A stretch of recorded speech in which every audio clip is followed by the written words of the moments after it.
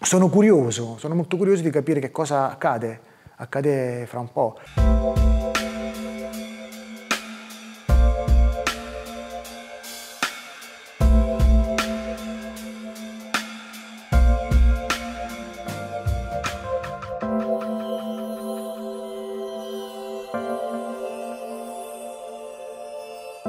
Lo studio lo vedo intanto come una specie di memoria esterna, è un'estensione di quello che poi è, è, è, la mia memoria, nel senso dove, dove, effettivamente tutti i pensieri, tutte le idee, tutto ciò che penso spesso le rendo fisiche, le costruisco ed è anche un posto dove riesco a, ad essere libero, molto molto libero. È il luogo dove metto in pratica i miei pensieri, dove do forma ai pensieri, dove trascorro la maggior parte del tempo, dove ho la possibilità di fare delle riflessioni su quello che è il mio rapporto con lo spazio.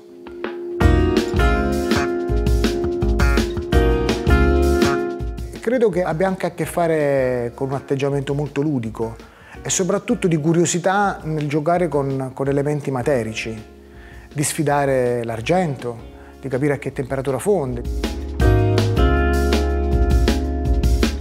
Sono sempre stato affascinato dal periodo alchemico, no? da, dagli alchimisti, quindi mi diverte anche un po' quest'idea di manipolare, tant'è, sono tutte analisi che faccio nel mio studio per me, perché mi diverte molto, quasi un po' una specie di Archimede, così, e poi cerco di restituirle sotto altre forme, col collage, con l'installazione, con la colonna cromata, facendo riferimento magari alla storia di Roma, no? oppure come l'installazione al macro dove all'interno di tutto il lavoro eh, pittorico fatto alla mostra al macro come se nulla fosse all'interno del muro ho infilato delle superfici in acero specchiante anche qui è molto interessante secondo me simulare la pittura senza fare la pittura ed è un po' tutto quello che, che, che, appartiene al mio mondo, cioè manipolare sistematicamente sia la prospettiva, sia l'immagine, sia il colore.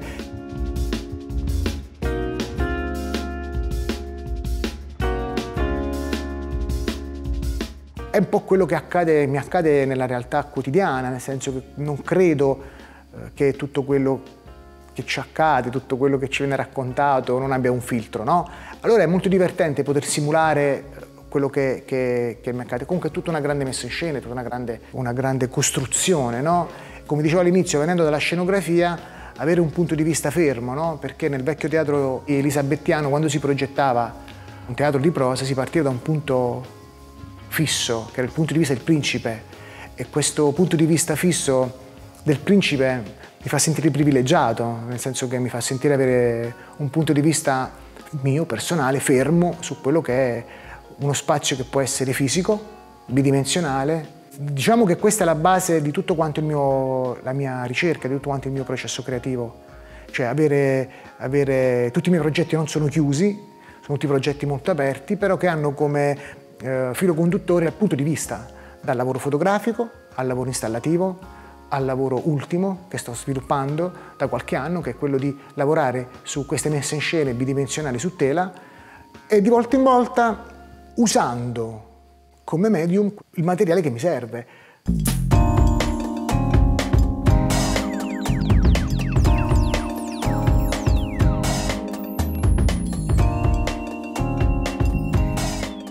Primo, il primo progetto delle installazioni, quindi mi sono avvalso d'utilizzo della terra, del legno, eccetera, eccetera. No? Poi c'è stata la fase fotografica, non mi sento un fotografo, però ho utilizzato la foto perché in quel contesto, in quel progetto mi restituiva la mia idea e credo che, che sia anche un po' il lavoro più connotato degli ultimi anni che ho fatto mi ha fatto sviluppare un processo di indagine nello spazio in una determinata maniera, tant'è che anche il lavoro appunto della Farnesina proviene da quel periodo diciamo, di, di, di ricerca e di lavoro. E poi il lavoro ultimo che sto sviluppando, che nasce dalla mostra al macro, è come se nulla fosse, dove sto utilizzando della pittura e non sono un pittore. Questa è un'altra cosa che mi crea parecchio fascino, cioè mi fa anche sentire libero di poter indagare eh, materie, come dicevo all'inizio, no? di stare nel mio piccolo laboratorio, nel mio piccolo mondo e poter continuare a giocare con dei materiali, con delle materie che poi restituiscano l'idea del lavoro, di quello che sto cercando di realizzare.